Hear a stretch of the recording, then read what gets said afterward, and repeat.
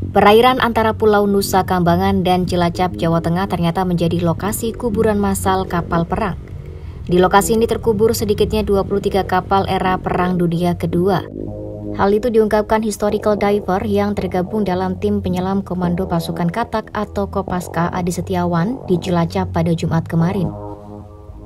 Adi menjelaskan dari catatan sejarah telah terjadi dua kali peperangan di Cilacap, yaitu pada era Perang Dunia II tahun 1942 dan agresi militer tahun 1947.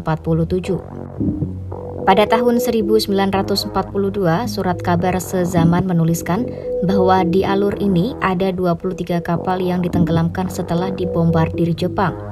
Bahkan, Daratan kota Cilacap juga luluh lantak dibombardir tentara Jepang. Menurut Adi, pada zaman itu pelabuhan Cilacap merupakan pelabuhan penting. Lokasi ini disebut sebagai pintu belakang Hindia Belanda.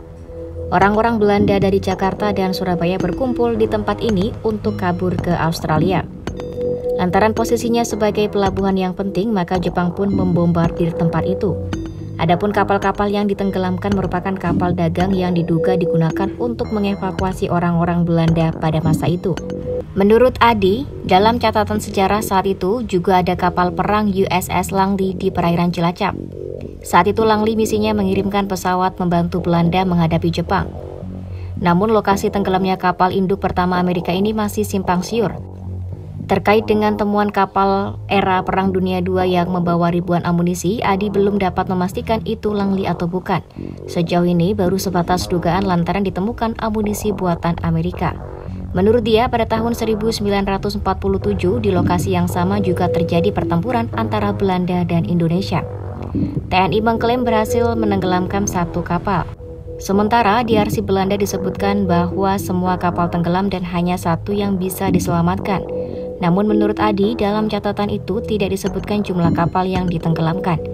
Hanya perkiraan saja ada sekitar 23 kapal era Perang Dunia Kedua yang ditenggelamkan di area tersebut. Diberitakan sebelumnya ribuan amunisi yang ditemukan di Cilacap, Jawa Tengah diduga berasal dari bangkai kapal induk pertama Amerika USS Langley.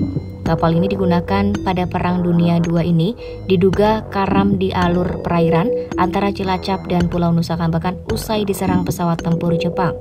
Namun, untuk memastikan ribuan amunisi tersebut dari bangkai kapal USS Langley masih memerlukan pembuktian lebih lanjut.